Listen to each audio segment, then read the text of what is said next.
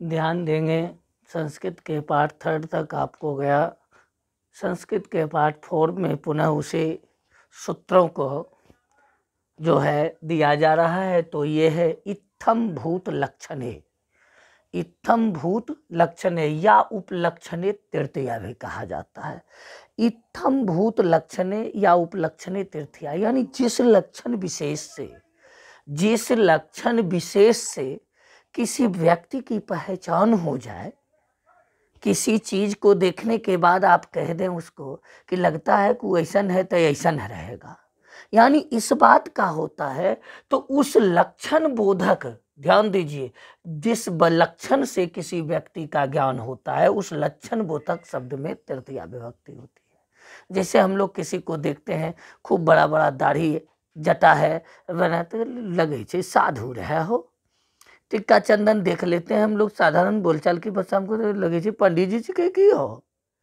अगर किसी के हाथों में हम लोग किताब उताब देखते हैं, छोटा मान लीजिए बच्चा है, ढंग का मान लीजिए छोटा है तो किसके? लगता है छात्र है, विद्यार्थी है।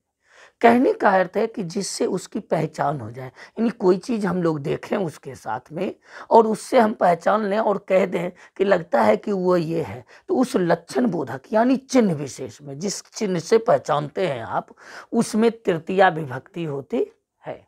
जैसे वह पुस्तक से छात्र मालूम पड़ता है, यानी उसके हाथों में पुस्तक है उसके हाथों में किताब है तो हम कह रहे हैं कि लगे अरे विद्यार्थी ये होते हो, है कि नहीं? तो वह पुस्तक से छात्र मालूम पड़ता है। किससे छात्र कह रहे हैं पुस्तक से? उसका चिन्ह जो है, वह क्या है पुस्तक? तो पुस्तक में तृतीया विभक्ति होगी। ठीक है? इत्थम भूत लक्षण। इस लक्षण विशेष में तृतीया विभक्ति होती है। वह पुस्तक से छात्र मालूम पड़ता है। सह पुस्तकेन छात्र प्रतीयते। सह पुस्तकेन छात्र प्रतीयते। वह पुस्तक से छात्र मालूम पड़ता है। ठीक है? तो इसी प्रकार से जो है, इसी प्रकार से नीचे तो जो है, हम आपको इसमें भी जो है, हम दो चार गो आपको दे देते हैं। उसके बाद उसको मान लीजिए, आप देख लीजिएगा, जैसे हम लोग दे सकते हैं, वह वस्त्र से साधु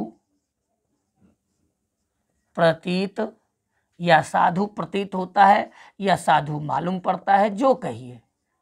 साधु मालूम पड़ता है। वह वह कलम से कलम से छात्र मालूम पड़ता है। ठीक है? ऐसे विभिन्न प्रकार के हैं। जैसे वह दे सकते हैं कि वह, मान लीजिए वह पुस्तक से पुस्तक से ब्राह्मण मालूम पड़ता है। वह वह, मान लीजिए किसी चीज़ को दिया जा सकता है, वह जटाओं से दीजिए। वह जटाओं से तपस्वी मालूम पड़ता है। वह जटाओं से तपस्वी मालूम पड़ता है। तो इस प्रकार से जो है, आप इसमें सब में देखिए, वस्त्र से, तृतीया विभक्ति, कलम से, तृतीया विभक्ति, पुस्तक से, तृतीया विभक्ति, जटाओं से, तृतीया विभक्ति। ठीक है?